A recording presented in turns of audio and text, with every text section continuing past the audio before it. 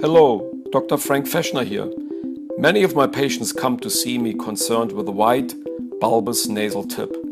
The appearance of the nasal tip is primarily determined by the anatomy of the lower lateral cartilages, which is a pair of three-dimensional wing-like cartilages that is then covered by skin.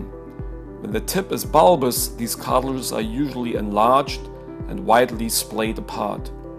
Therefore, I will often slightly reduce the size of these cartilages first. Next, I use internal nasal sutures in order to reshape the nasal tip. This will achieve a narrow nasal tip that is aesthetically more pleasing. Sometimes I will have to use little cartilage grafts and further uh, finesse the appearance of the tip. Please look at a couple of our patient examples here. And of course, for further information, visit our website at drfechner.com. Thank you so much for watching.